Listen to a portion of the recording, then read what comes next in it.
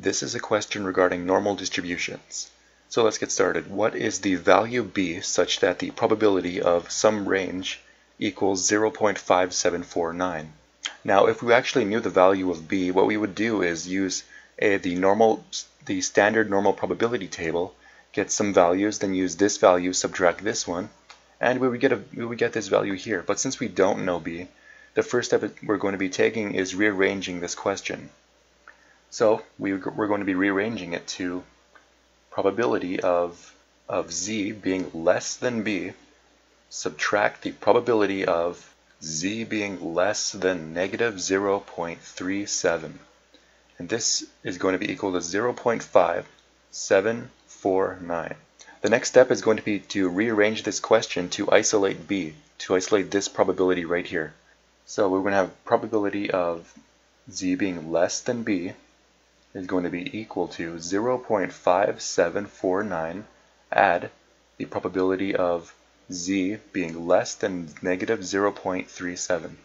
If you use the standard normal probability table to find the this probability right here, the probability of this being less than that, you would get a value of 0.3557.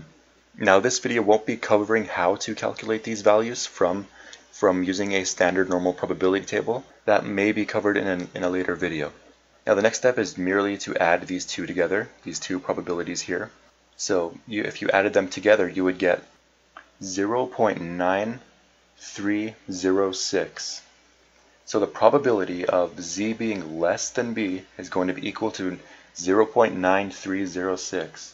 Now if you recall, in order to actually calculate this probability, let's say if we knew b, we would find the value of b on the standard normal probability table and get an associated probability or proportion like this out.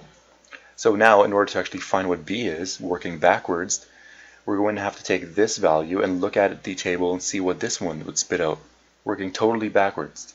So given this proportion here, what kind of z-score or z-value can we get? Well, if you actually, if you use the table and try to match something that's approximately close. It's, it's quite close to this, this proportion right here.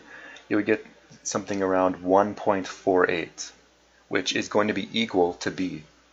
Now we can actually confirm this, let me change colors, by if we actually take the, the probability of B occurring, 0.9306, and subtract it by the probability of this occurring, this one being less than Z, and we found that out to be if you recall, 0.3557.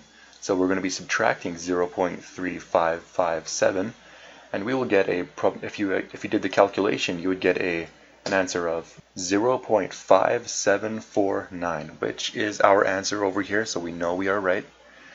Okay, well this has been a, a problem on normal distributions, a rather uh, cumbersome problem I'd say.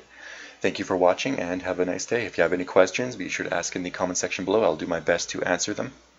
And see ya.